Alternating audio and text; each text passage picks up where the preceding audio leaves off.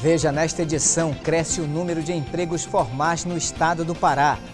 Começa horário gratuito de propaganda eleitoral nas rádios e TVs. Projeto Voto Cidadão conscientiza a população sobre a importância das eleições.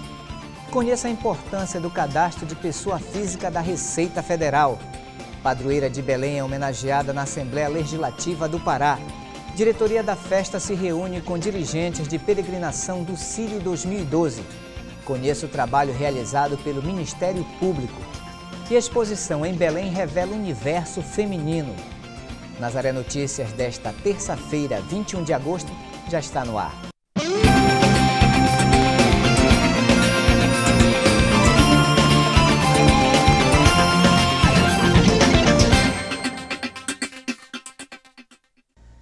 O jornal de hoje começa com uma boa notícia. Cresceu o número de empregos formais no Pará.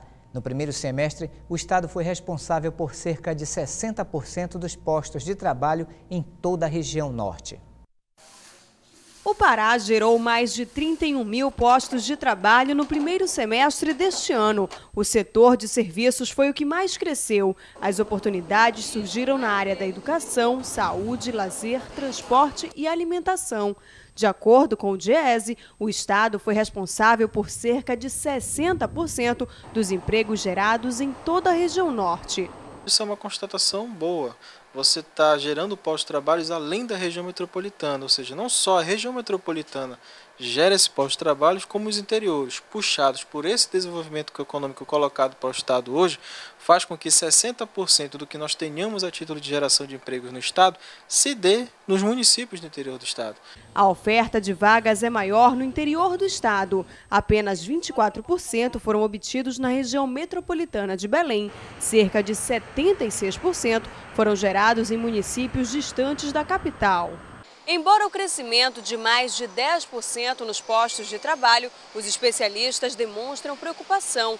Isto porque a maioria destes empregos não é ocupado por paraenses, devido à falta de qualificação.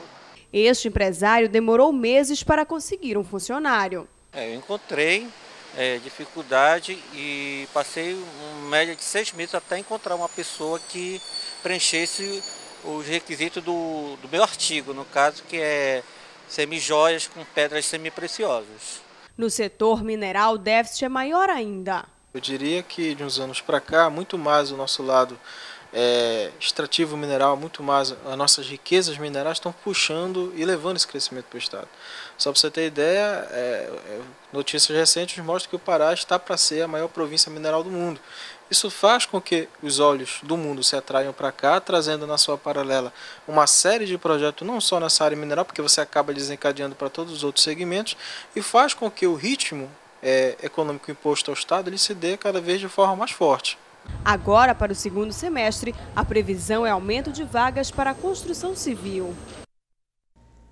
O Sindicato dos Trabalhadores em Educação Pública no Pará realizou pela manhã de hoje uma marcha pela educação. Professores e funcionários das escolas da capital e de outras cidades do estado se reuniram na Praça Santuário de Nazaré, em Belém, e saíram encaminhada pelas ruas. Os trabalhadores reivindicam melhores condições de trabalho e a revisão do plano de cargos e carreiras. A última mobilização da categoria reuniu cerca de 400 pessoas. A marcha fez uma parada em frente à Secretaria Municipal de Educação e na Secretaria de Administração do Governo, onde os manifestantes solicitaram uma audiência. Eleições 2012 começou hoje o horário gratuito de propaganda eleitoral nos rádios e nas televisões de todo o país. O repórter Ivaldo Souza tem mais informações.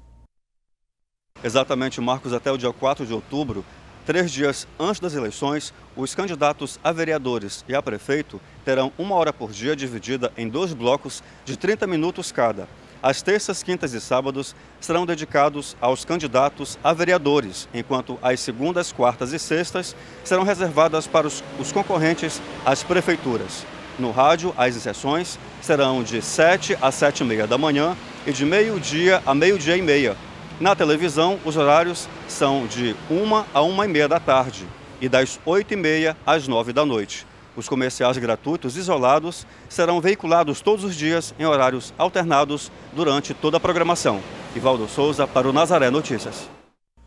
E ainda falando sobre eleições, de acordo com o balanço parcial divulgado em apenas 18 dias, o Disque Denúncia Eleitoral da CNBB já recebeu mais de 500 ligações de todo o Pará. Desse total, 117 foram denúncias que foram encaminhadas ao Ministério Público Eleitoral. O MPE investigará os fatos e poderá formalizar as denúncias. A Justiça Eleitoral. Os casos mais frequentes são de dois tipos: compra de voto e uso da máquina administrativa em campanhas. O voto é o principal instrumento de cidadania ao alcance da população. É com ele que a sociedade tem a possibilidade de escolher seus representantes e definir de que forma os recursos públicos serão administrados. Para conscientizar as pessoas sobre a importância das eleições, foi criado o projeto Voto Cidadão. José Olímpio Bastos, superintendente do SESI Pará, é um dos idealizadores do projeto Voto Cidadão, criado há dois anos com a iniciativa de buscar esclarecer os direitos e deveres do cidadão. O projeto tem parceria com o Tribunal Regional Eleitoral do Pará, Ministério Público Federal e a Ordem dos Advogados do Brasil, Secção Pará, OAB. Nós estamos trabalhando com o conceito de peça teatral é, dentro do conjunto da informação, em que nós esperamos que, é, como se trata de algo né, que é de arte, mas além de tudo é de uma forma lúdica, que as pessoas possam interagir né, quando a peça é apresentada. E a partir daí nós vamos gravar um DVD e fazer é, a disseminação dessa peça, inclusive sugerindo e encaminhando o material para que ela possa ser reencenada em cada ambiente que nós encaminharmos, nas escolas, nas indústrias, nas associações de bairros. O projeto Voto Cidadão é uma ação pioneira do Conselho Temático Permanente de Responsabilidade Social e de Educação da FIEPA e coordenado pela Gerência de Responsabilidade Social e Empresarial do SESI Pará. O entendimento de cada um de nós, cada cidadão, de que somos nós que pagamos toda a conta pública, todo recurso que está no erário público, tanto no município, no estado, quanto no governo federal, é, todo esse recurso ele vem da somatória da contribuição de cada um de nós através do consumo. Nós precisamos ter muita clareza, tranquilidade para escolher a pessoa que vai administrar esse recurso que é nosso. Nós, nesse momento, e a democracia brasileira permite, nós somos iguais, todos os cidadãos são exatamente iguais em importância. Para os envolvidos no projeto Voto Cidadão, o setor industrial brasileiro representa 28% do PIB, recolhe 45% de todos os impostos, emprega 25% da população e responde por metade das exportações e está ligado intimamente ao setor público, ou seja, dependemos de políticos sérios para o bem da nação. Certamente, se você não tivesse vendido ou não tivesse desperdiçado seu voto de qualquer forma, você teria escolhido o melhor. E aí você teria contribuído para que os melhores fossem administrar o recurso que é seu, o dinheiro que está lá é seu. Então, vamos escolher os melhores. Para um melhor entendimento quanto ao projeto, serão distribuídos cerca de 40 mil kits como este, que vem dois livros, release sobre o voto cidadão texto sobre a peça teatral Senhor Cidadão, Você é o Patrão e um DVD. A sugestão de um conselheiro no conjunto das pessoas acataram e aí, olha, então vamos fazer uma peça teatral, já está já tá pronta a ideia, está pronto o texto, vamos transformar. Então foi assim que surgiu a vontade e, e a decisão de transformar os livros em peça teatral. Estamos pagando impostos, os governos estadual, governo municipal, governo federal e seu Zé. Juntando tudo isso, forma um grande bolo de dinheiro, seus. Um grande bolo de dinheiro. Agora me deu até medo. E quem quiser entrar em contato e saber mais sobre o projeto Voto Cidadão, basta ligar para o número 4009-4906. O governo reduziu a zeros as alíquotas do imposto sobre produtos industrializados para painéis de madeira, laminados de alta resistência e PVC para móveis. A medida beneficia o setor moveleiro e vale até 30 de setembro de 2012. Segundo a Receita Federal, a medida levará a estimular, os, aliás, a medida deverá estimular os setores envolvidos na fabricação de imóveis e contribuir para a manutenção da atividade econômica e de emprego e renda. A renúncia de receitas decorrentes da medida é estimada em mais de 116 milhões de reais. O decreto foi publicado no Diário Oficial da União. Quem está pensando em viajar e precisa tirar o passaporte tem que ficar atento para as exigências e prazos e não correr o risco de não conseguir o documento a tempo da viagem. O procedimento é simples e é possível até mesmo agendar a hora de atendimento para pedir o passaporte. A repórter Larissa Cristina tem mais informações. Marcos, o primeiro passo é entrar no site da Polícia Federal para fazer o agendamento. Depois de preencher o formulário com os dados pessoais, a pessoa deve imprimir um boleto que custa o valor de R$ 156,07. Aqui em Belém é possível agendar a hora e o dia do atendimento na sede da Polícia Federal. No dia e horário marcado, a pessoa deve comparecer com os seguintes documentos: carteira de identidade, CPF, título de eleitor, comprovante de que votou na última eleição e certificado militar. O passaporte é expedido em até seis dias úteis. No ato do atendimento, também é agendado o dia e a hora da entrega. Larissa Cristina para o Nazaré Notícias. O clima vai continuar mais quente na capital paraense até o mês de novembro por causa das poucas chuvas na cidade. É o que prevê o setor de meteorologia da Secretaria Estadual de Meio Ambiente. Segundo a Coordenação de Recursos Hídricos, esse período será menos chuvoso e deverá registrar um acumulado mensal de chuvas entre 100 e 140 milímetros e uma temperatura média de 34 a 35 graus centígrados. O sul do Pará apresenta o seu período mais seco e nessa região é normal que ocorram vários dias ou semanas sem registros de chuvas. Foi liberada a consulta a primeira parcela do 13º salários de aposentados, pensionistas e segurados do INSS. O pagamento representa uma injeção de recursos da ordem de mais de 11 bilhões na economia do país. O repórter Ivaldo Souza tem mais informações. Marcos, o valor estará disponível no extrato do mês de agosto e o documento pode ser consultado no site previdência.gov.br. No banco, o valor deve aparecer no extrato de dois a cinco dias antes de ser feito o depósito. A verba começará a ser paga no dia 27 deste mês para quem recebe até um salário mínimo e vai até o dia 10 de setembro. Já para os segurados que recebem um benefício acima de um salário mínimo, o prazo começa a valer a partir do dia 3 de setembro. Ivaldo Souza, para o Nazaré Notícias. Todo cidadão deve possuir um registro no cadastro de pessoas físicas da Receita Federal. O CPF é utilizado na maior parte das operações financeiras e auxilia na identificação do cidadão. O cadastro de pessoa física, mais conhecido como CPF, não é só mais um documento que o cidadão deve ter. Ele é o registro da pessoa na Receita Federal Brasileira. Ao completar 18 anos, é imprescindível tirá-lo, porque o documento é exigido em inúmeras situações. Preciso trabalhar, preciso ajudar meus pais, minha mãe. Aí eu estou precisando de emprego no momento.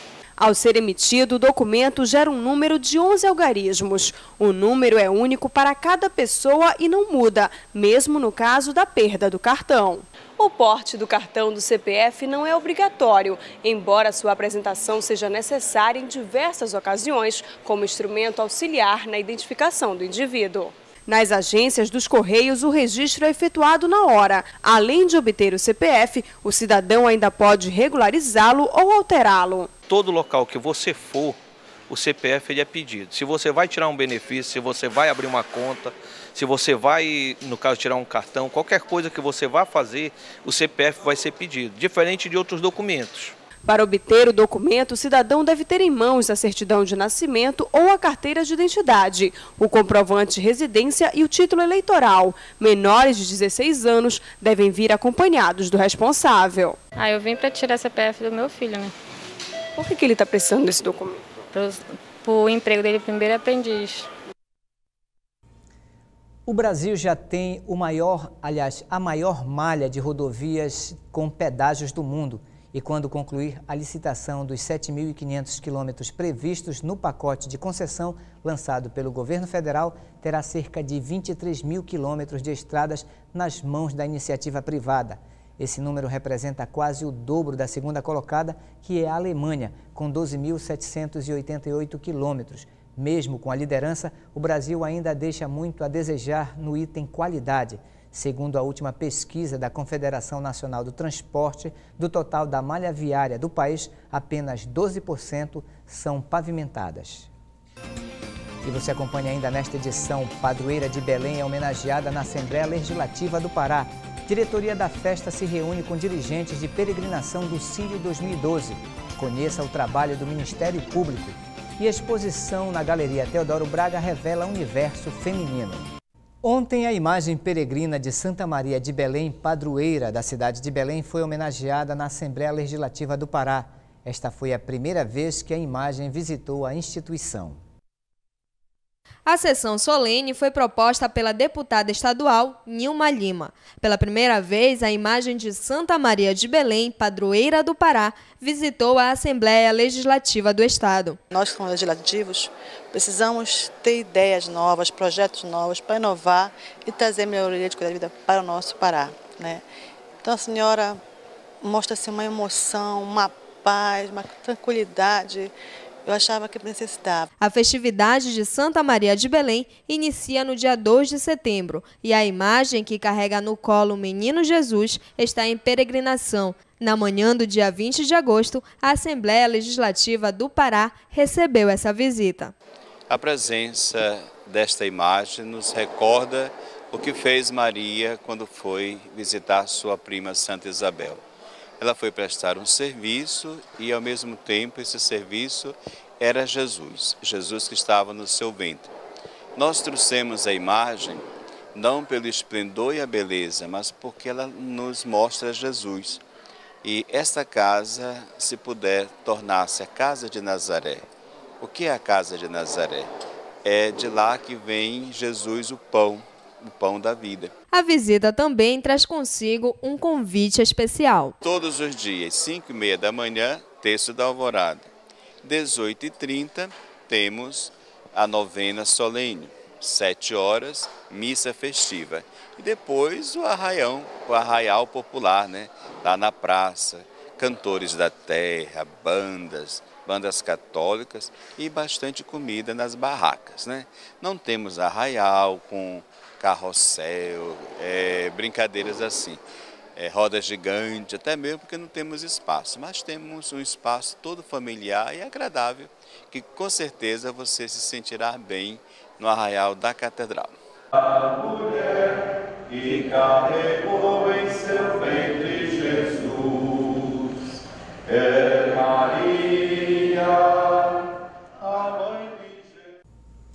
A partir da próxima terça-feira, os jovens de todo o mundo poderão fazer suas inscrições para a Jornada Mundial da Juventude, que acontecerá de 23 a 28 de julho de 2013 no Rio de Janeiro, com a presença do Papa Bento XVI. A 28ª JMJ deverá reunir mais de 2 milhões e 500 mil jovens de 190 países. As informações necessárias para fazer o cadastro podem ser encontradas no manual de inscrição do peregrino no site oficial da JMJ www.rio2013.com. As inscrições serão feitas em grupo por meio de um responsável. Para grupos mistos, haverá um responsável masculino e um feminino. As inscrições serão realizadas exclusivamente online. A diretoria da festa de Nazaré se reúne com dirigentes de peregrinação do Sírio 2012. Na ocasião, foram entregues os livros das peregrinações e as orientações de Dom Alberto Taveira. No encontro, a força e fé da mulher paraense voltadas a Nossa Senhora de Nazaré. O encontro é uma oportunidade de motivar e incentivar os dirigentes nas suas tarefas, envolvendo todos numa forte evangelização. Ao todo, são 15 encontros em que imagens de Nossa Senhora de Nazaré vão de casa em casa, abrindo a contagem regressiva para a festa. As peregrinações da imagem da Mãe de Jesus aos lares foi criada em 1972, com o intuito de uma melhor preparação espiritual dos devotos para o Sírio. Em meio aos elogios de Dom Alberto aos dirigentes, incentivo e orações. Eu confio em nosso Senhor. É um fruto de outros encontros realizados, porque nas seis regiões episcopais aconteceu a formação desses líderes. nós teremos 5 mil imagens de Nossa Senhora de Nazaré, e é claro, sempre com a Bíblia, que percorrerão as várias peregrinações. São grupos de 15 famílias que, deste meado de agosto até o final de setembro, serão visitadas. Nós queremos ir além daquilo que visitamos no ano passado. Foram cerca de 110 mil famílias visitadas em preparação para o Sírio. O Sírio não é somente aquele final de semana ou a quinzena do Sírio. O Sírio é um processo de formação e de evangelização. Cerca de 1.500 pessoas participaram do encontro. Para ser dirigente, basta ter interesse na missão e procurar as paróquias da Arquidiocese de Belém. O início das peregrinações será a partir da próxima quinta-feira, após a celebração da missa do mandato, programada para acontecer na Praça Santuário. Os dirigentes devem levar suas imagens para receber a bênção de Dom Alberto Taveira.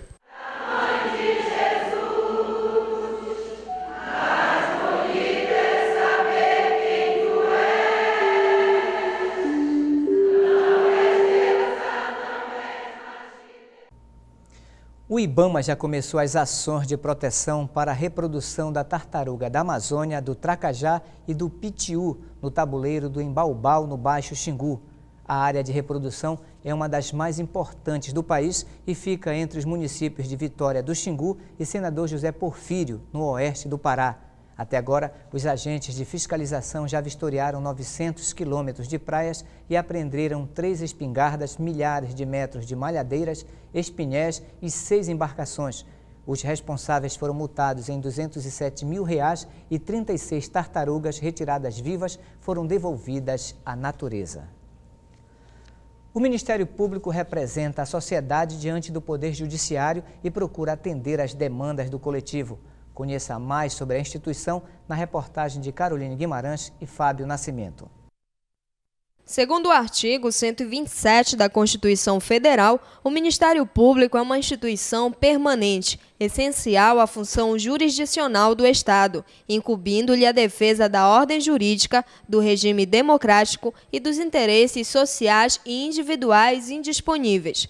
Foi a partir da Constituição de 1988 que o Ministério Público Federal foi efetivado como instituição, mas sua origem remonta a tempos anteriores. A ideia de Ministério Público na história da humanidade é uma ideia bem longínqua, né, que antecede a, a civilização atual. Há notícias de, de figuras no Egito Antigo que seriam os primeiros é, procuradores né, no, nos moldes que a gente conhece hoje. Então, o Ministério Público ele surge com a República, com a é, redemocratização do país a partir da Constituição de 88, porque ele assume um novo perfil né, é uma função essencial à justiça. O Ministério Público Federal faz parte do Ministério Público da União, que abrange quatro ministérios: o federal, o militar, o do trabalho e o do Distrito Federal e Territórios. Como faz parte da União, o trabalho do Ministério Público Federal está vinculado com o interesse da coletividade. A ideia é sempre de coletividade, então digamos que um determinado grupo de, de pacientes renais crônicos, por exemplo, não estão sendo atendidos, ou seja no Sistema Único de Saúde, ou pelos próprios planos de saúde, aí isso atrai o interesse né, do, a atribuição do Ministério Público Federal. Digamos que houve um, um, um homicídio em terra indígena, isso atrai a competência do Ministério Público Federal. É, houve um, uma quadrilha no INSS que fraudava os processos de aposentadoria. Isso é um crime que atrai a competência do Ministério Público Federal. O combate à corrupção é uma das grandes lutas do Ministério Público Federal. A lei de improbidade administrativa seriam os atos praticados pelos agentes políticos, com prefeitos, governadores, né, descumprindo os princípios que regem a, a, a administração pública, como moralidade, né, toda aquela questão que vai ser é, tratada na lei de improbidade, isso também é matéria, sempre que houver recurso federal, é matéria de, de atribuição do Ministério Público Federal. São muitas as ações do Ministério Público Federal. Um exemplo sobre a amplitude desse trabalho é o que tem sido feito sobre a construção da usina hidrelétrica de Belo Monte. E Belo Monte ele, ele atrai uma série de circunstâncias que demandaram todas as ações, né? 14 ações até hoje, por conta da defesa da legalidade. Então, a, sempre que houver em matéria ambiental um interesse que seja da União, que seja o um interesse federal, no caso de Belo Monte, o rio Xingu é um rio interestadual. Então, isso atrairia, atraiu a competência do Ministério Público Federal para que pudesse ser feita a defesa da legalidade, da lei, da Constituição, dos povos e comunidades tradicionais da Amazônia, que é uma atribuição do Ministério Público Federal, a defesa dessas minorias. Começa hoje em Belém o primeiro encontro dramatúrgico Brasil-Argentina organizado pela Companhia Teatral Nós Outros. O encontro será realizado no Teatro Cláudio Barradas e na Escola de Teatro e Dança da Universidade Federal do Pará até quinta-feira. A entrada é franca e o público é convidado a doar leite em pó, fralda descartável e brinquedos. Oficinas, ensaios abertos, bate-papos e apresentação de espetáculos fazem parte da programação. Também haverá participação especial do dramaturgo e diretor argentino Santiago Serrano, que ministrará a oficina O Ator e seu Labirinto. Um grupo de mulheres artistas se reuniu em Belém para mostrar o universo feminino sobre diferentes olhares. A exposição está em cartaz na Galeria Teodoro Braga, no Centur. Figuras, fotografias e pinturas revelam o universo feminino sobre diferentes óticas. Sete artistas se uniram para formar uma curadoria coletiva na exposição Mulheres Líquidas.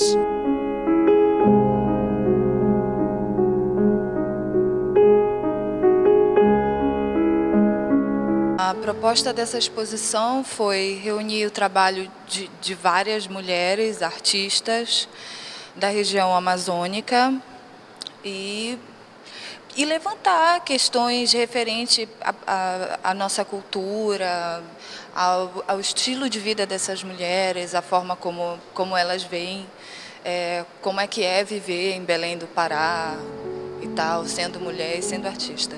Os trabalhos traduzem as concepções de vida de cada artista. As mulheres líquidas vieram das cidades de Macapá e Serra do Navio, no Amapá, de Urucará, no Amazonas e de Belém do Pará. Juntas mostram suas influências e personalidades. A fotógrafa Cíntia Marques traz um olhar sobre a vulnerabilidade feminina na vida urbana de Belém.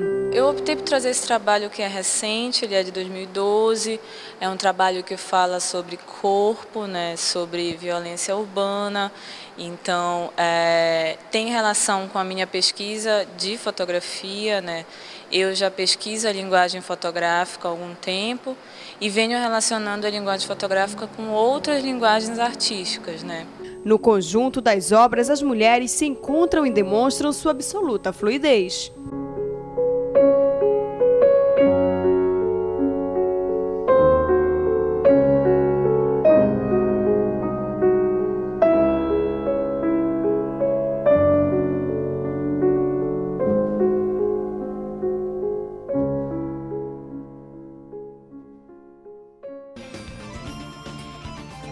Pode assistir as matérias exibidas no Jornal de hoje no portal da Fundação Nazaré de Comunicação. Basta acessar www.fundacionazaré.com.br ou entrar na nossa página no Facebook. Nazaré Notícias fica por aqui. Nos encontraremos amanhã na próxima edição. Até lá!